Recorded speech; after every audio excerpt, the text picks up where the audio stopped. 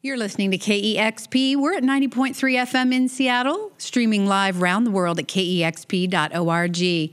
I'm Cheryl Waters, and I am so happy to have Kiasmos in our KEXP studios today. Olafur Janus, how you doing? Good. Yeah, we're great.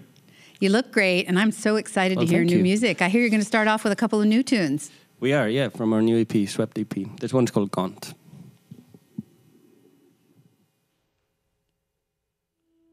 Thank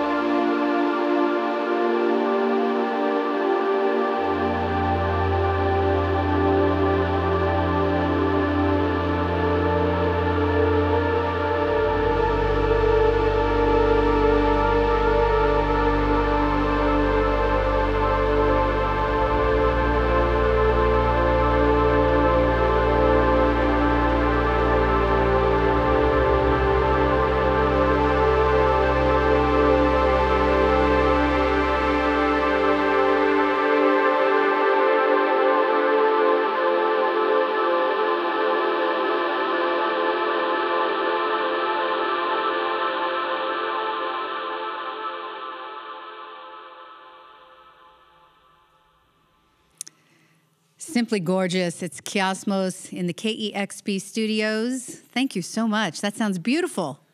Thank you. And thank you for gracing our new studios here at KEXP. You look and sound amazing in It's here. great to be here. Congratulations on the new space. Thank you so much. it's much. amazing, actually. Yeah, it's really beautiful.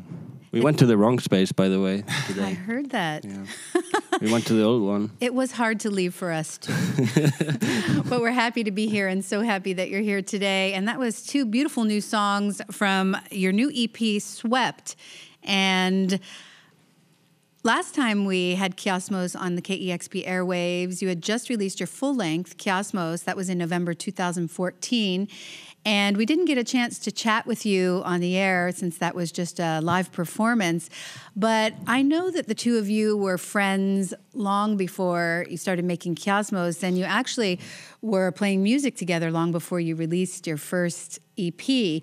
Can you take us back in time a little bit and tell us uh, how your relationship started as friends and how you started making music together? Yeah. Um, so I was uh, playing at this venue in Reykjavik called um, Organ. Organ, Organ yeah. it was called. and uh, Oliver was the like in-house sound engineer at this time at this was in like 2007, 2008. and my old band used to play there all the time like every other weekend and uh, then finally we made this album and went on a tour around Iceland and we brought Oliver up along because he already had mixed us so many times and um, in the tour bus we kind of discovered we liked this kind of new techno music that was going on back in 2007 It was pretty hard techno back then. and we, we uh, started doing this with the motto of uh, making techno for people who are tired of dancing only with their feet. people should also dance with their hands, you know, because everyone was so cool back then. They were always just like dancing like this, and we we thought that was pretty annoying when we went to clubs. So, So we you were wanted to inspired to, try to make them move their feet. music more like here. Yeah, Janus, what band was that? Because we're very familiar and Yeah, love your band, Blood Blood, Group. Group. but Yeah. you've you've been in a number of bands, so that Yeah. was Blood Group. yeah exactly I ask because um, you have this beautiful ambient and textured sound with Kiasmos that blends classical and electronic music, which uh, m- is brings something from both your projects, your solo project Oliver and Blood Group, and it makes me think, uh, Oliver, you were dancing during that set, and you probably dance more, and Janus, you probably dance a little less Yeah. in Kiasmos. this is true actually I think it's an outlet. Uh, I need it more, you know. I spend so much time sitting on a piano and being still. I'm curious what your dance. time in the studio is like. Uh, a few years ago, when we were in Reykjavik, we got to see your studio when it was brand new. And uh, what what's it like when you're making this music in studio? It sounds like there's a lot of instruments on there, but when you do your live show, not surprisingly, it's just the two of you out on tour.